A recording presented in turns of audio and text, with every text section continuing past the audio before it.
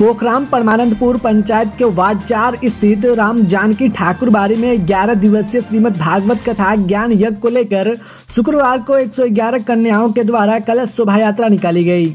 वैदिक मंत्रोच्चार के साथ यज्ञ स्थल से निकलकर गोपाली टोला स्थित सुरसर नदी में जल भरकर पुनः यज्ञ स्थल के लिए प्रस्थान किया। इस दौरान ढोल नगाड़े, गाने बजाने के साथ सैकड़ों की संख्या में श्रद्धालु शामिल थे। पोखराम छेका टोला सखुआ, तिलकोरा होते हुए लगभग पाँच किलोमीटर कलश शोभा यात्रा निकाली गई। कलश यात्रा के मार्ग में साफ़ सफ़ाई लोगों में काफ़ी उत्साह और ग्रामीणों की आपसी सहयोग दिख रही थी। आचार्य विनोदानंद जी और आचार्य रामरेखा बाबा के द्वारा भागवत कथा एवं राम कथा वाचन किया जाएगा।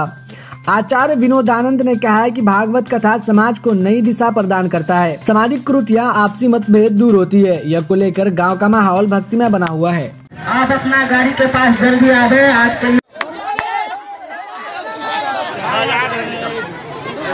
जो है, सो समाज में फैले कुरीति और कलेश, जो आपसी कुरीतियाँ फैली हुई है, इनको दूर करने के लिए हम लोगों ने वृंदावन अयोध्या से आए हुए राम रेखा बाबा एवं अंतर्राष्ट्रीय संत पंडित विनोदानंद आचार्य ने यह गांव-गांव जा कर के जो यह।